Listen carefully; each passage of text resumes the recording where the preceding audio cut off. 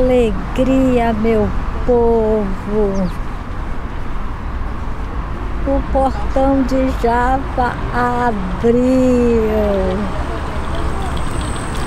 Então, nós estamos num regime semiaberto, né? Numa medida protetiva. As lojas continuam fechadas, cerradas, somente os supermercados e o chuque estão parcialmente abertos. Mas a maravilha, o portão de Java está aberto. Isso significa que já tem acesso ao Santo dos Santos. Vamos lá, meu povo, vamos comigo em mais uma jornada na Terra Santa. Olha que portão lindo. Olha que portão lindo. Ele é lindo de todo jeito, mas quando ele está aberto, ele é mais lindo.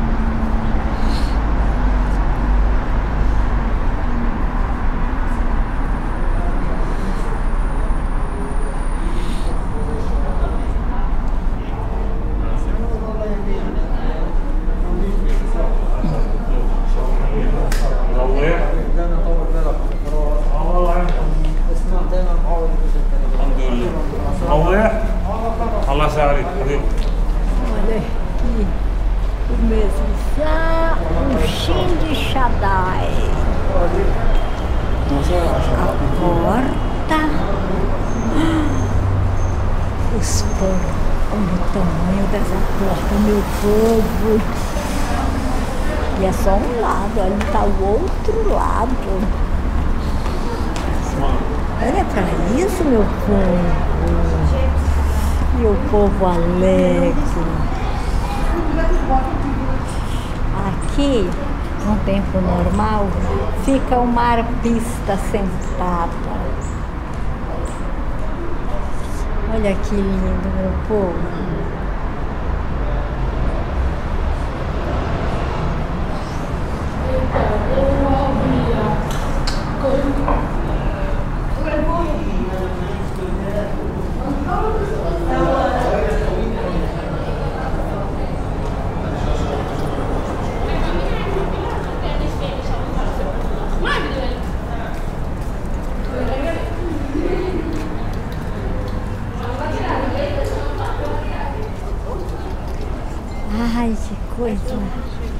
mais linda. Que sensação maravilhosa. Depois de tanto tempo o portão de Jaffa fechado. E agora as pessoas já estão entrando normalmente. Olha meu povo.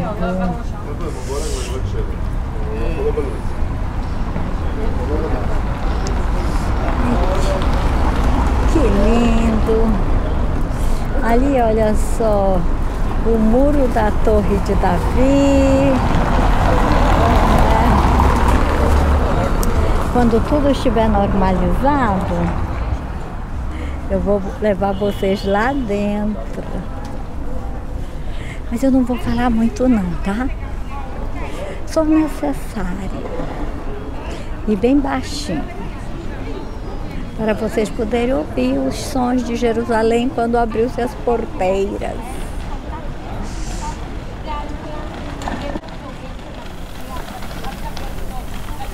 Ah, mas primeiro vamos só comentar um pedacinho da Paraxá desta semana, ou da porção da Torá que nós estudamos em todo Israel.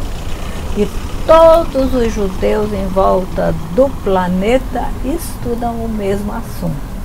Então, a Torá desta semana chama-se Noar, ou Noé em português. A paraxá passada foi Bereshit, é, a paraxá da criação, não é? que nos falou sobre a criação do universo, criação da Terra e a criação de Adão e Eva, criados perfeitos, morando em um jardim, feitos pelo Criador, receberam uma ordem, desobedeceram e depois dessa desobediência, não é, como era de costume na viração do dia, eu acho bem que era sexta-feira para sábado, viu? O Criador vinha visitá-los para ver como é que estavam andando as coisas. E desta vez eles estavam escondidos, não é? E ele chama e tem uma grande pergunta.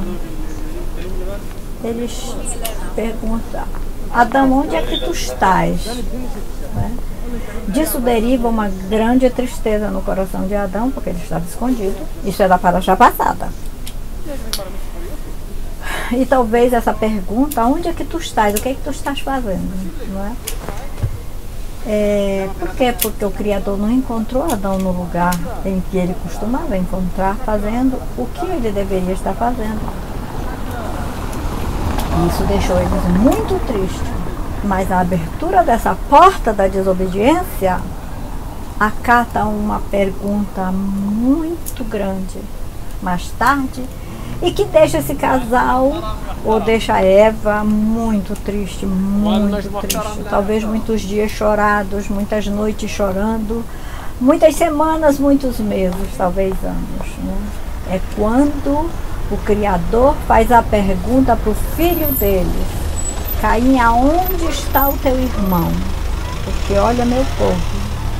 Quando uma coisa toca nossos filhos, a gente prefere que toque a nós. Meu, nosso filho fica doente, a gente preferia que fosse nós que ficássemos doentes no lugar deles, né?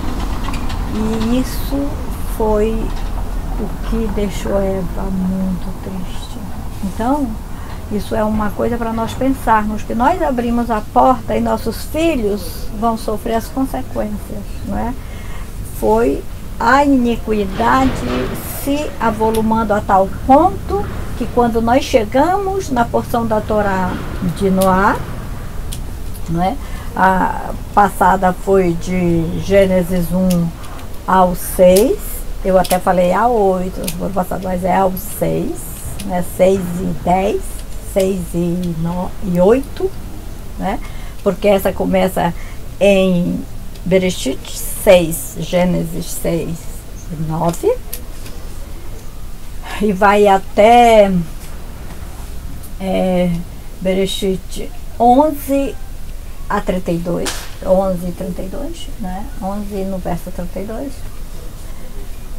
Quando nós chegamos nessa paraxá, a violência já estava tão grande, o pecado já tinha se multiplicado a tal ponto que o homem estava em decadência total. E o Criador teve que tomar uma atitude muito severa para salvar essa humanidade.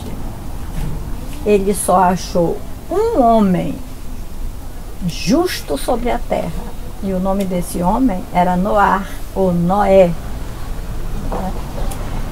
E ele diz para Noé, ele dá uma ordem para Noé fazer uma arca, ele dá o comprimento desta arca e dá todas as instruções para Noé.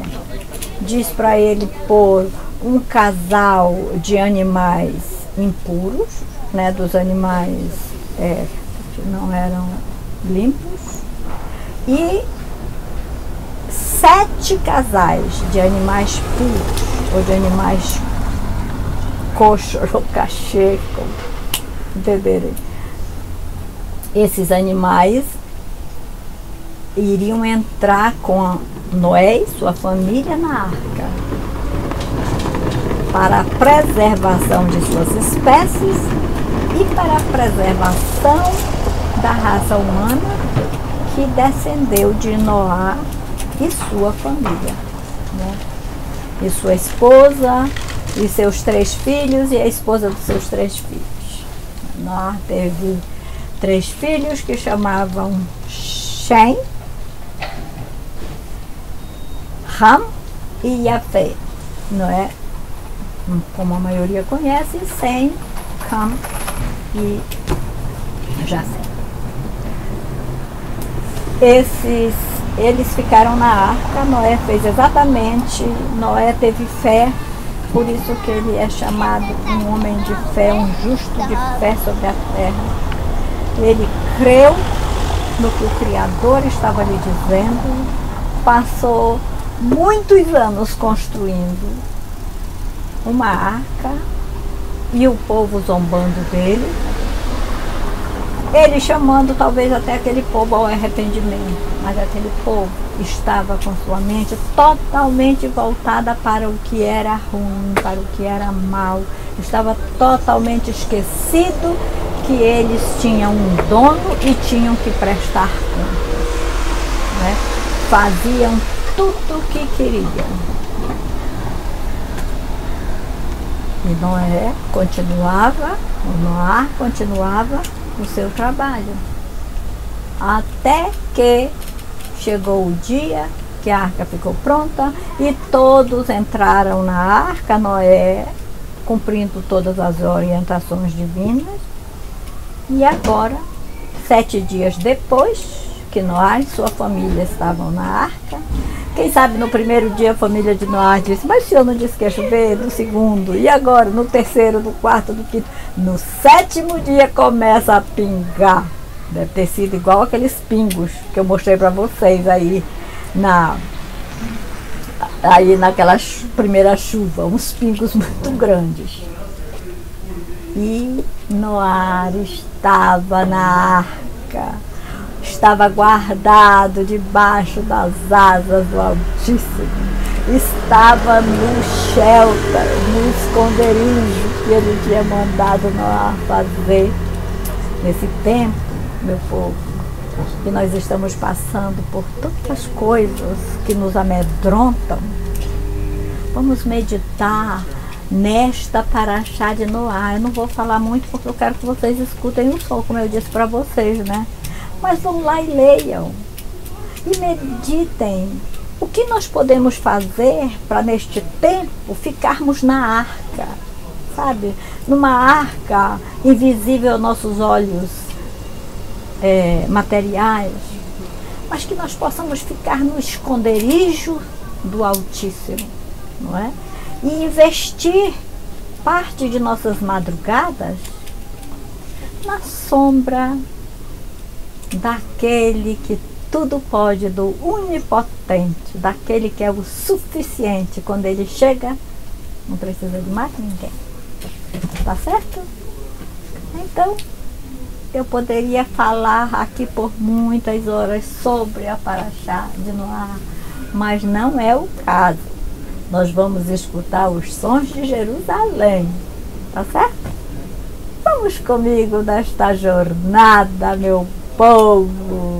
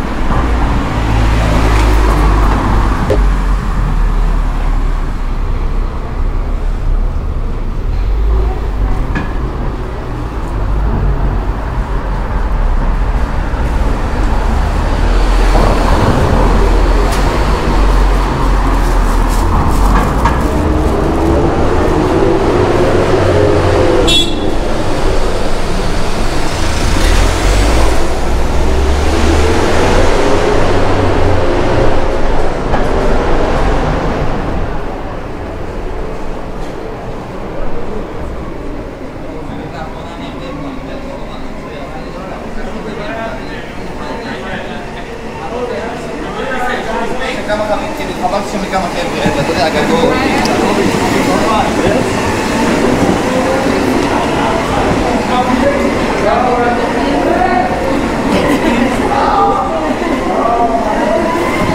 תודה.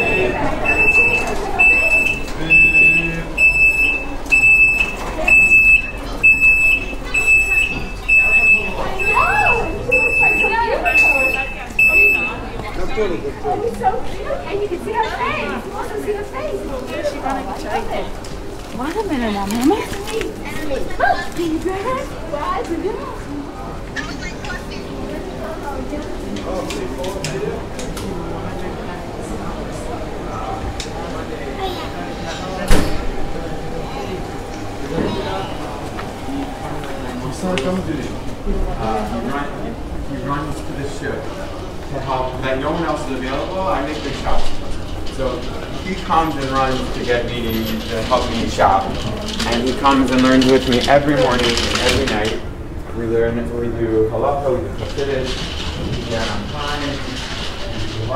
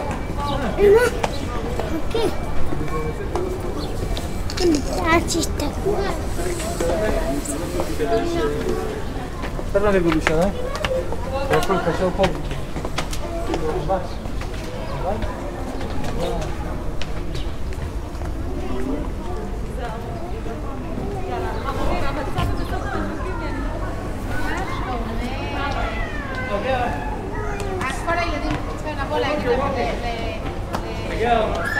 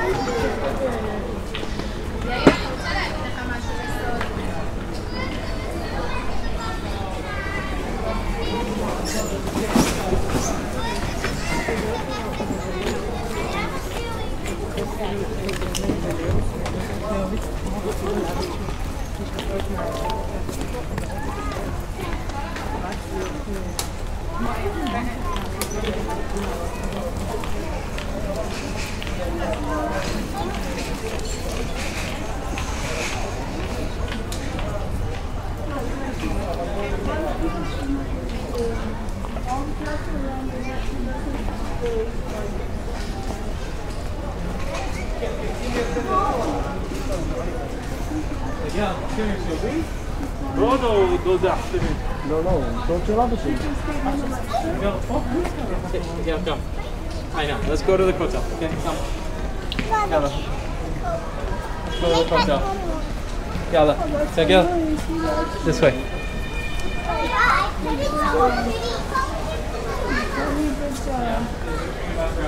No, I'm scared.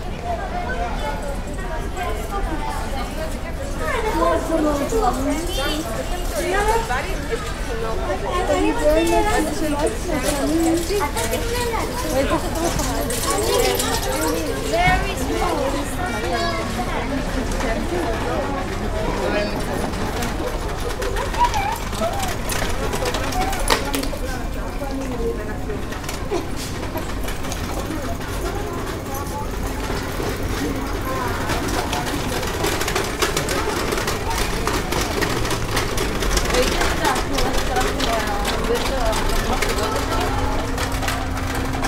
pegando, né?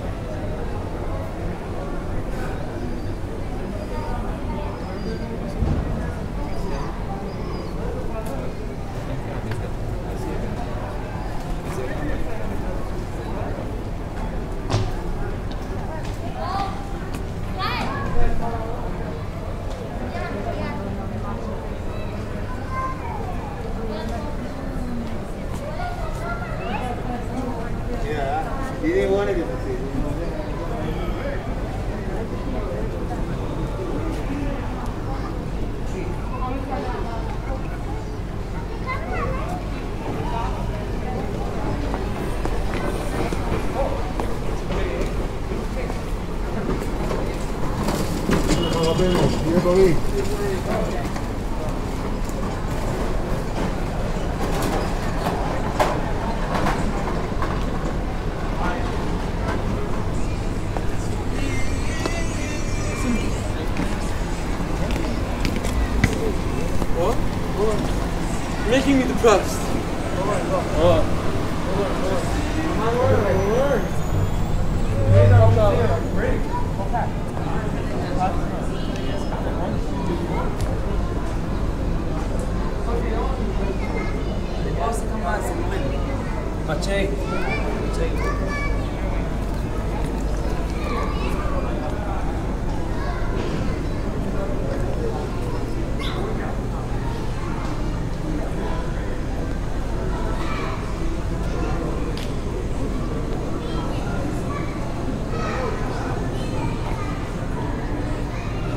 Essa grande sucá ainda está armada porque não pode ainda reunir-se dentro da sinagoga.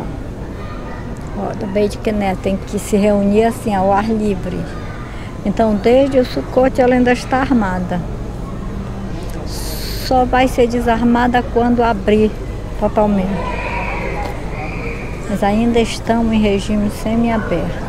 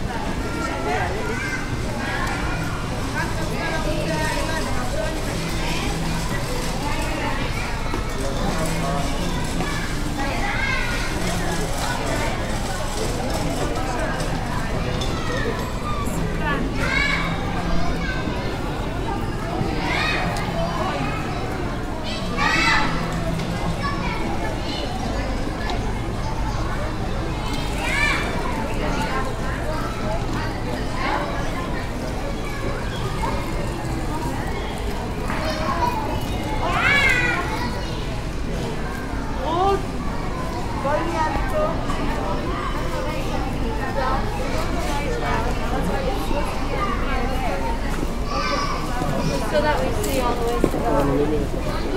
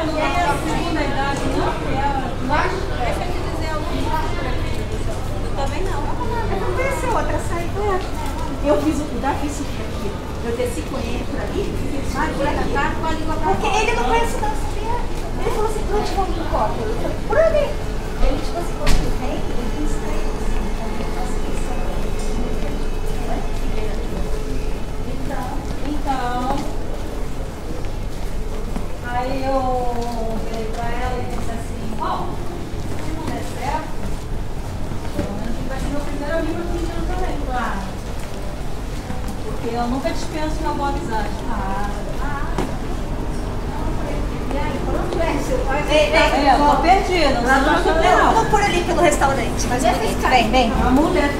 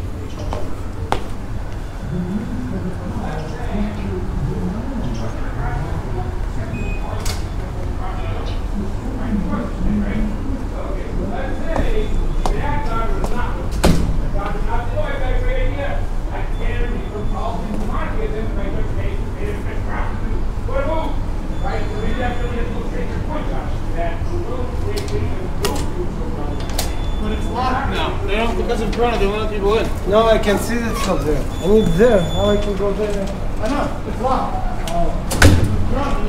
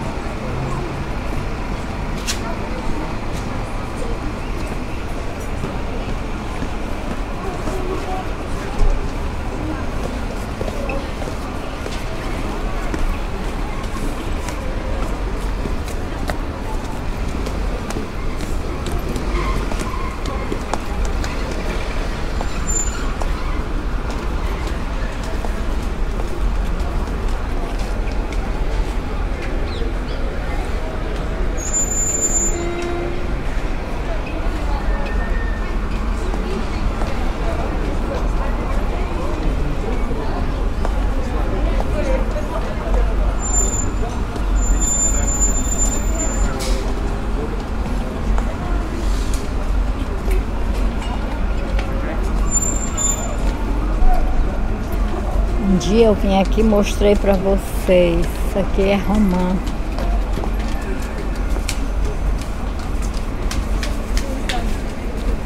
E hoje, ó, como é que tá o romã. Já deu muito romã. Aqui embaixo dessa escada ele nasceu. Israel é a terra do, do Romani, do Romã. Que eles estão tão maduros que eles abrem quando eles já estão maduros e ninguém tira.